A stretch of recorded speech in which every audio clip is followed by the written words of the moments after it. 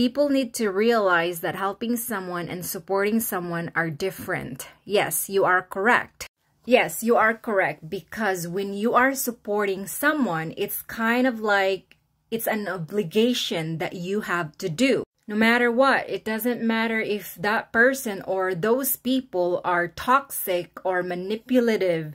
For you, it does make you feel like I have to help because I promise to support. And that's the reason why a lot of people who are going to the Western world or going abroad to work, they already accepted the obligation of supporting the family. And that is why when you are someone who's going to work abroad, you should not make promises to your family that once you get there, you're gonna be the one who's going to support them. No, that's a wrong attempt. Because when you do that, and once you come here, you get tired because you let out those words by saying going to support them. If you don't fulfill those words or action, they are going to make you believe that you're their enemy because again, you promise that you're going to support them. And that is why you tend to get frustrated all the time because the people that you're supporting don't often respect you or value you or appreciate you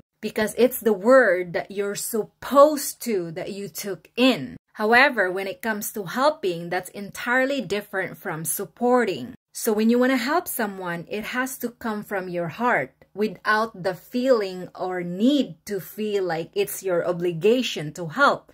Because help is basically like, oh, I want to help them because I just want to help them. I want my heart to feel fat. And when you're helping someone, it's not necessarily an obligation because you are choosing to help, not supporting. And when you're helping someone, you get to decide when you want to help them. So once you have savings and you have extra money and you don't know what to do with your money, that's when you think that, hey, I'm going to use this money to help the people I care. Because your heart is telling you that you should be helping, not because they're asking you or demanding you to help them. Otherwise, it's an obligation that you have to support them. For instance, for me, I don't send money to my families in the Philippines every month. However, I do help out someone in the Philippines once in a while because I do feel like, hey, you know what? I remember that person. I'm gonna send some money to help them out. Sometimes I send two, three times a year and I don't feel obligated. I feel like, hey, I'm helping someone. I'm making someone happy and